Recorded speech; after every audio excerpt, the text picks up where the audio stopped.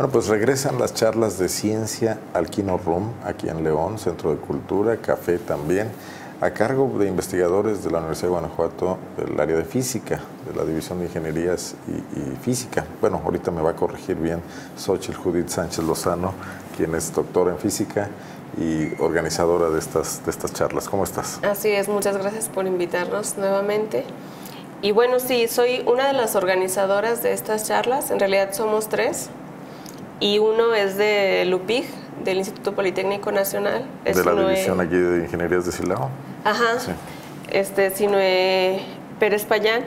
Otro es el IM, que estuvo la vez pasada, que nos invitaste, pero él ahora se ha incorporado a la Universidad de Pachuca.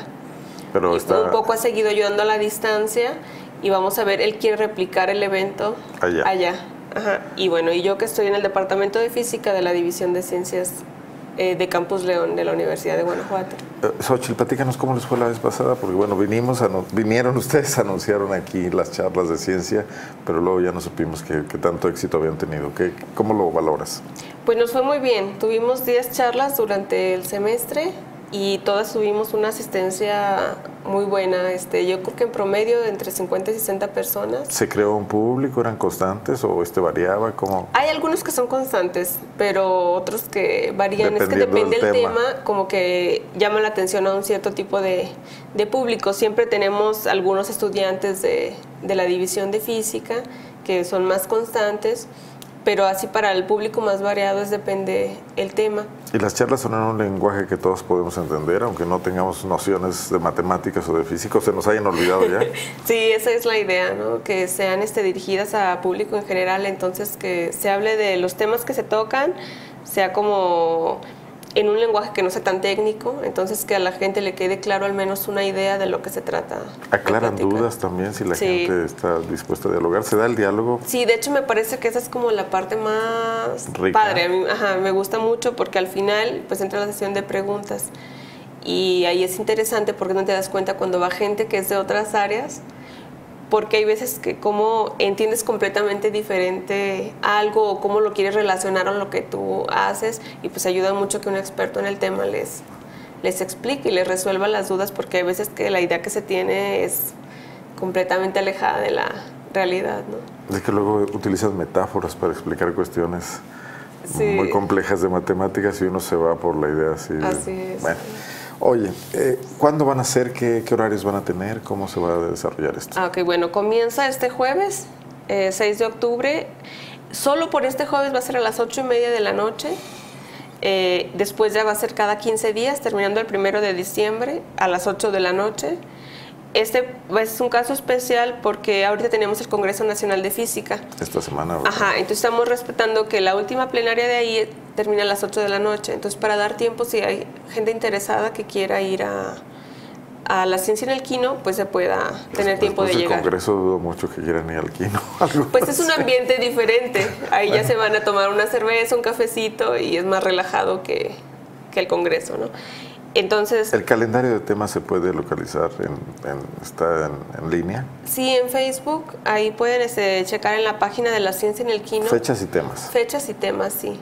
¿Cómo la se, en el Kino Room? Es la ciencia en el Kino, solo así. Así se llama la página. Esta primera del jueves es sobre, bueno, el título es Las matemáticas eh, para entender la vida, la sociedad y la evolución. Y viene un un investigador muy reconocido de la Universidad Michoacana, que lo aprovechamos porque vino a dar una plenaria en el Congreso y lo aprovechamos para que diera una charla de divulgación. Después vamos a tener... Es, este, un invitado especial. Sí, es invitado especial. Pues, es la de las ocho y media. Esa es la de las ocho y media. Después de se retoman a las ocho y pues va a haber pláticas sobre eh, el agua salada, este, otras que tenemos programas, las matemáticas en el cine, otra va a ser de algún asunto de cosmología porque es una investigadora de esta área. Y bueno, lo único que aquí la vez pasada presentamos una dirección del Kino Room, pero ha cambiado las instalaciones. ¿Ya se cambiaron los del Kino? ¿Ya no están en el centro? Sí? No, están ahora cerca, pero no es zona centro. Es en Hidalgo, 627, en la colonia Obregón. Y, bueno, es el mismo concepto todo, pero ahora este es... Hidalgo de, del lado derecho, izquierdo del eje si, si vas rumbo al norte. Del lado izquierdo. Acá rumbo al centro, ah, sí. centro histórico. Muy bien. Este, y bueno, y ahí este, siguen el mismo concepto, solo que ahora no es abierto al público todos los días, únicamente cuando hay eventos especiales. Y en este caso, pues el Kino Room siempre está abierto. Es, entrada gratuita, pero hay que consumir. Entrada gratuita. No es este necesario, o sea, no hay un consumo mínimo, pero sí venden algunas cosas y puedes consumir si quisieras, pero no es obligación consumir, entonces no se tienen que preocupar por eso, ¿no? Pues a partir de este jueves, que es 6 de octubre, si no me equivoco. 6 de octubre, sí. Cada 15 días en el Kino, Cada 15 días. Charla sobre ciencia. Así es. Muy bien, pues para los interesados en el tema, aparte del especialista que no me has dicho su nombre de la Universidad Michoacana de este jueves. Ah, sí, el doctor Francisco Sidarta Guzmán. Francisco Sidarta Guzmán. ¿Hay otros eh, invitados foráneos o, son eh, personas de aquí, de las instituciones locales? Mira, el de la siguiente, que es, el, si no me equivoco, el 20 de octubre, es este, una investigadora de ahí del Departamento de Física de aquí de la Universidad de Guanajuato, la doctora Ana Laura Benavides eh, ¿Esto de cosmología quién? la de cosmología también es una investigadora aquí que recientemente se integró, bueno, hace un año se integró al departamento de física, al Masochil, la doctora Almazochil. Este, Esto toca Sí. Y después viene un matemático del CIMAT, también, bueno, de aquí de Guanajuato, a hablar sobre las matemáticas en el cine. Muy bien. Y la última de diciembre es la que aún no, no tenemos este, definida. Muy bien.